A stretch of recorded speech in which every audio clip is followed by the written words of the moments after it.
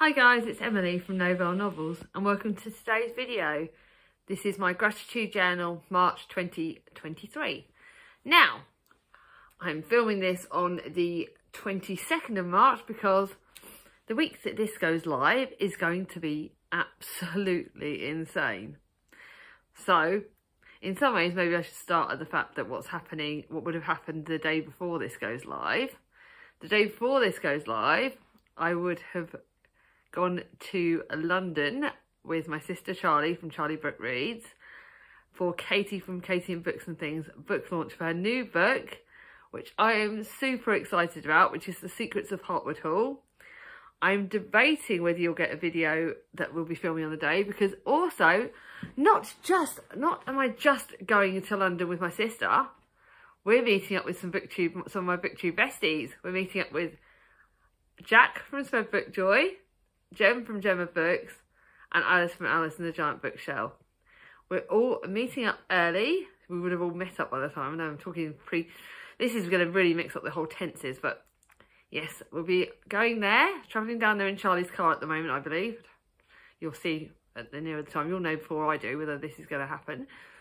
Um, and then we're meeting up with them. We're having lunch. We're having dinner at Pizza Express. As far as I know, Jack's booked the table. I'm going to finally meet Katie from Books and Things. Now, before I do any more, I want to thank Katie from Books and Things because she has invited all of us to this book launch. It's a bit of a booktube. I believe there's other booktubes going. She's been chatting to me on Instagram. Her book is going to be a book that I'm reading for a readathon, which you'll be hearing about in the next couple of weeks, which we do I will already let you know it's about chronic pain and invisible disabilities. This title is to be announced very soon. So yeah, I'm reading her book for that. So that that is something I'm very, very excited about. I can't wait to go. I'm nervous about going to London because I've not been to London in a very long time. But because Charlie's driving us, I feel a lot safer. Even though I'm driving slightly insane, she's amazing and I love my sister. And going with her means I can actually tackle my fears and do it. So that's something massive to be grateful for is that thanks to my great sister, I am going to have the courage to go and do that. And I can't wait to meet Jack for the first time and see Jem and Alice again. Oh, just love my friends. I'm so excited. So yeah, so that's literally the most recent thing. Now let's start at the start of the month and do things back in the order that I had planned. So obviously you all know it was my birthday month so one of the first things that I did on my birthday month was go to Casper's with one of my friends, one of my besties, Tracy. Ate way too much dessert. Had a big chocolate waffle and it was amazing. There wasn't any other, the only thing I would say is there wasn't really many sort of drinks that for those, there wasn't any alcohol, which is never good. And there wasn't many sort of drinks for those of you that didn't want sort of like froths and milky drinks. And because obviously I, I have a lactose problem, I can't have too much dairy or, or make me sick. So yeah, but then we went and did some clothes shopping, sort of looked at clothes and we went to the shops. and did that. I think I bought like one book, which was good for me. Yeah, you'll see my you'll see my book haul in one of the next videos. I'm only showing a few books in this video. But she bought me, because she knows me and my alcohol, and seeing as I'm getting my chronic pain in order, I can go back on the gin. And she bought me this great gin selection, which has got, we've got cinnamon apple, passion fruit and pomegranate, rose flower and raspberry, elderflower and lime and lemon, rhubarb and ginger. I don't know which one of these to start. For those of you gin lovers out there, which one should I start with? I've got a gin glass and another thing, so yeah, I'm gin sorted for the next year or two because I only have like one glass of gin a week, one or two, you know, depending. But you know, it was really lovely going out with her for the afternoon. I got a bit dressed up. We had a really good time, and we've planned another one for, I think, the middle to the end of April because April's half April's Easter holidays and Thomas's birthday.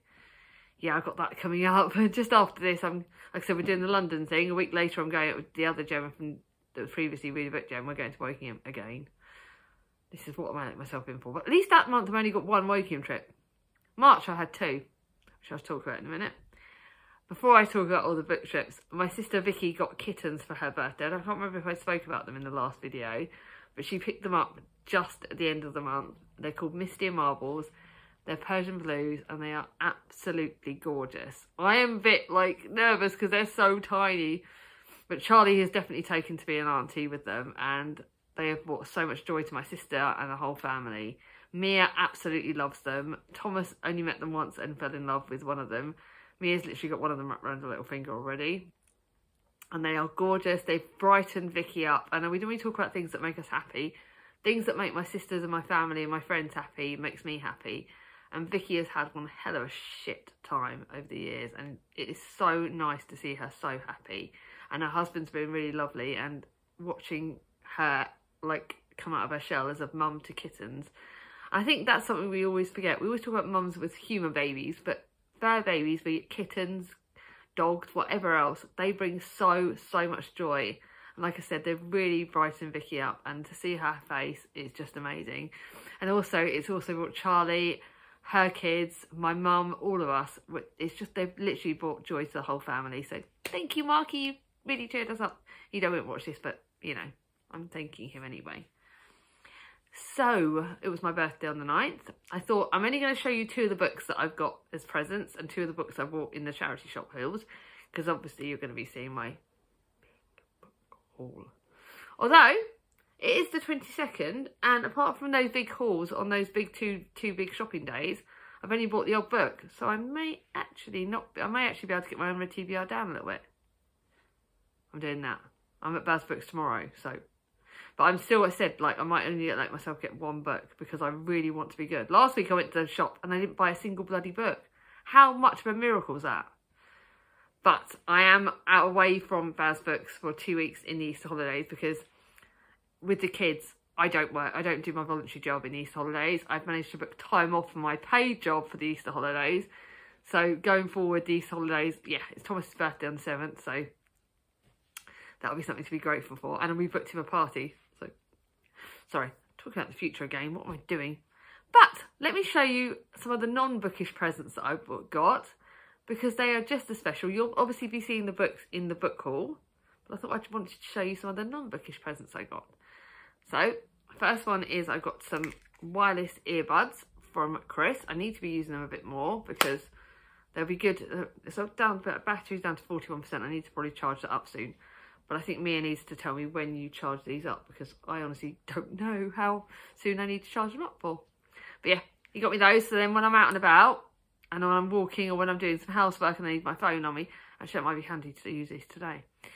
I'm good. I can use these and also when I'm walking to work, they're a lot better. The old wireless head wired headphones were a nightmare. He bought me these. They're in a beautiful like rose pink. I don't like too like I don't like certain colours of pink, but I do like the rosy gold pink. So that's absolutely beautiful. He bought me those and he did buy me lunch at Wagamama's. He took, took me to Wagamama's. I had like a takeaway that evening. He spoilt me rotten. He was lovely as. He carried all my books. He was really sweet. We had such a lovely time. I did buy loads of books and he bought me a couple, which I can't remember which ones he bought me. What? I'll tell you those in the book haul. So he got me that. Alice, I got books, like I said, I got book parcels, which you know me. I had all these parcels that arrived before my birthday and I didn't actually open them to my birthday because Alice was on the book police and she wouldn't let me buy anything. She wouldn't let me open them. She was like, no, you're not opening them. So I've got presents from my book, oh, both of the, the girls. But Alice sent me this homemade little mini sweep, which Sweep actually loves. It's a little crochet. Seriously, it's one of the sweetest presents and it's on my like DVD shelf next to my bed, next to my um cozy chair. So Sweep gets to kiss it regularly and I get to look at it. So that was one of the sweetest things, as well as she got me um, a couple of books. It's just like, and the sweetest card and like a postcard. And I'm like, I should have brought my postcards down, but they've all got me postcards. Maybe I might include them in the book haul. Yeah, she, her and Jack both got me a little postcard each, which is so perfect. Then Charlie got, I got um some gifts by my family to help with the Raynaud's because obviously that's been playing up um, it's not bad today because the cold, it's weather started to be a bit less cold, so my fingers are getting better. But Charlie bought me some thermal gloves, but this was the thing that, oh my God, this was actually, I don't know if it's more expensive than, but you can see it's got my name on it. Where's my name? Oh, there, my name's there. Is that my name? Little hedgehog with books. It's on my bookshelf in my room, and this was so sweet. Like the thermal gloves was her practical present that her husband Richard, who is like the best brother-in-law you could ever wish for, although all my brother, both my brother-in-laws are amazing at the moment. But yeah, she got me that and the, the amazing thermal socks. Vicky, um, thermal gloves. Vicky, my younger sister, got me these special, they're purple, which is special, and they're special heat holder socks. And part of the Raynaud's is my fingers and my toes get very cold and these were very expensive. So she got me these and a couple of face and some face masks because I love doing face masks with Mia. So I wear these when my Raynaud's is playing up. So thank you, Vicky. Jack got me some books and got me some face masks as well and got me this gorgeous bar of chocolate. It's I also got chocolate bars from Mia's Mia's best one of Mia's best friend Rose. He bought me a big bar of chocolate and I bought myself some before that. So this is going to be eaten by the before this goes live. But Daim Dairy Milk is one of my favourites. So I don't know how she knows that. They all know me too well. I love, love, love that. And then my mum got me a book, which you'll see in the book haul, which is a book I requested and she got me this gorgeous hoodie. I needed a pale coloured hoodie for, um, because I've got to think about like wearing colours. And I'm really getting into like certain spring colours and this is perfect. It's really fleecy and warm. It's the right size. It's got the big glove thing there. Oh my God, I love it. I'm wearing that tomorrow when I go to Baz Books. So that was like a mum, that was my mum's present. And she was also just typical mum. She's been really sweet. I was poorly done yesterday, the day before I filmed this, um, with Tommy bug, and she looked, she was literally at the end of the phone every time I needed her. She was absolutely incredible. So, those are the presents that are non-bookish. I'll show you two of my booktube presents. I'm not being fussy as to who, who bought me what, but I also got presents from Danny and like loads of people. I was so, so grateful for my book present. Jack got me this one, which is The House of the Golden Door. I'm literally, I screamed when I got this because all of the presents were perfect and I'm so bloody grateful. This is, I've ju literally just read The Wolf Den and it was absolutely perfect. I need to put the Temple of Fortuna on my Amazon wish list because I can't wait for this. This will not get waited for very long. I've got, like I said, May, I've now got readers on. So I think like it's June that I'm going to be able to start reading my new releases, but this is perfect. Although actually I say that, but May, this book is perfect for May because it's a women's prize one that I wanted to get and I've wanted this for ages. Maggie O'Farrell, the women's the marriage portrait. Not sometimes I don't like hardbacks often because they are heavy to hold.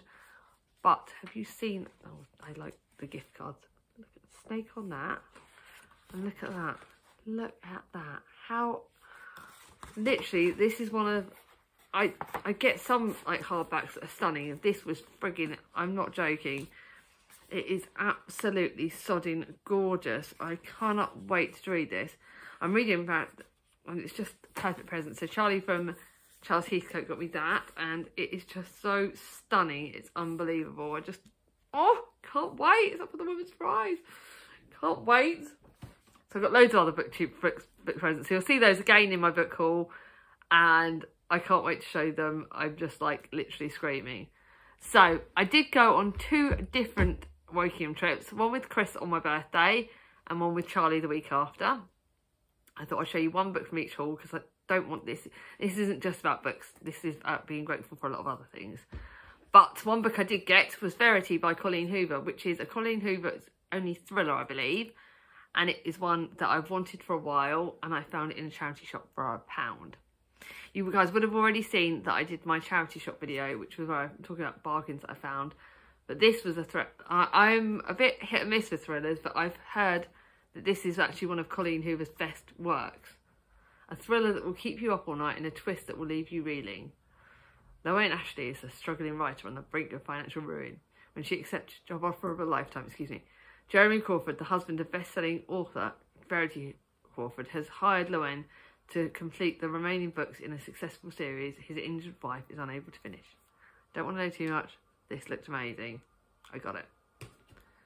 And then books that I bought when I was out with Charlie. I did treat myself and you'll see a book that I bought full price in W.H. Smith, which I've never done that. I've never gone into W.H. Smith, but it was actually half price book and it, it was a book that I wanted. But this I saw and I've been debating it in several times I've been to the charity shops. But I gave in and bought it. It's Echo Mountain by Lauren Wolk. It's a child, it's a middle grade like fantasy book, and Jem from Gem of Books has said that she liked it. She read it with her son Sam, and it just it's been drawing me, so I sort of sod it and buy it last time. By the time our first mountain winter came, we had a snug, safe home where we could start again. But that was before my father's accident changed everything. Don't want to know anymore. This does look really good. So I treated myself to that.